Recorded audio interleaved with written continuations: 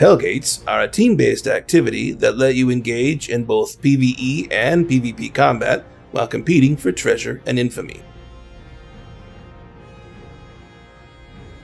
Entering a Hellgate takes you into a pocket of hell. Your team will explore one of 10 different maps populated by enemies similar to those in corrupted dungeons, but strong enough to challenge your team. Eventually, your team may invade or be invaded by an opposing team of players. Team sizes are always equal, so there's no zerging here. The PvP in Hellgates can be either lethal or non lethal, depending on the tier of the Hellgate. In Tier 5 Hellgates, you can't be killed by enemy players, only knocked down. If your entire team is knocked down, you'll be ejected from the Hellgate and returned to the world of Albion. In Tier 6, 7, and 8 Hellgates, PvP results in death.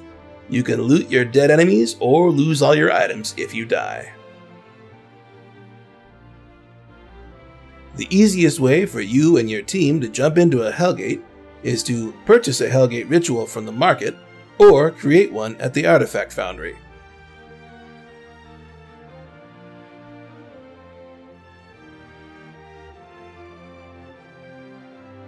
Using a ritual creates a Hellgate entrance in a nearby region. For 20 minutes after using the ritual, only the person who used the ritual can see the newly created entrance. The entrance is clearly marked on that player's world map, region map, and minimap. Once the user gets close to the entrance, everyone can see it.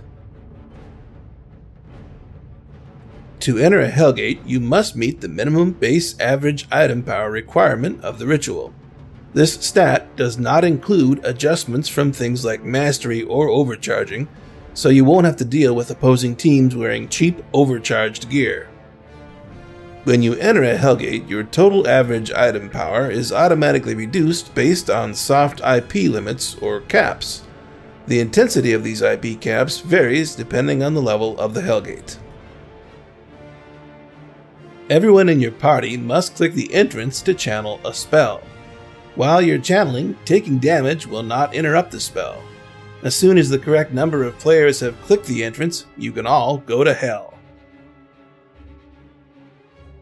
You may also encounter Hellgate entrances randomly in the world, but they're not common and it's probably easier to purchase or create the ritual. Hellgates feature a scoring system called Infamy. Although the name sounds similar, Infamy is not related to the reputation system in any way at all. Destroying monsters and NPCs in a Hellgate earns you Infamy, the higher your infamy, the more valuable your rewards will be if you complete a Hellgate successfully. Each level of Hellgates, 2v2, 5v5, and 10v10, has a separate infamy score. The average infamy of your team members for the current level is used to find an opposing team for you to invade or to invade your Hellgate. If your team wins the PvP battle, you'll earn a percentage of the infamy belonging to each member of the opposing team. But if your team loses, you'll lose a portion of your own infamy. The Hellgate matchmaking system is designed to find you an opposing team as fast as possible. You might even be launched directly into another team's Hellgate as soon as you complete your ritual. If not, the system continues to look for an appropriate match while your team clears the mobs in your own Hellgate. The longer you go without fighting an enemy team, the broader the search parameters get, and the more likely you are to be matched to an opposing team. When an invasion occurs, most of the mobs in the Hellgate are banished. Only the ones guarding chests and shrines remain. Before long, your team will clash with the opposing team. If you completely wipe out the opposing team, the Hellgate is completed.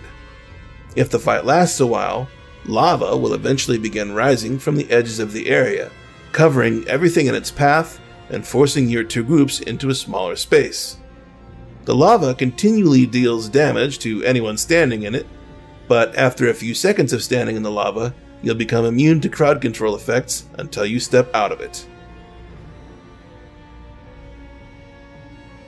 If your team does not invade another team's Hellgate and is not invaded, You can complete the Hellgate by earning enough infamy from killing monsters and NPCs. If an invasion does occur, the winning team completes the Hellgate.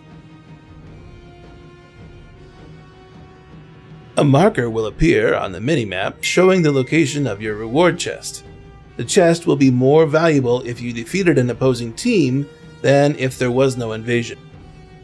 Near the reward chest, you'll find a portal you can use to exit to Albion, and another Hellgate entrance you can use to automatically move to a new Hellgate without creating or buying a separate ritual item. But you might want to head back to town and bank all the sweet loot you've gathered first. We hope you've enjoyed this video. Let us know in the comments below what kinds of videos you'd like to see next.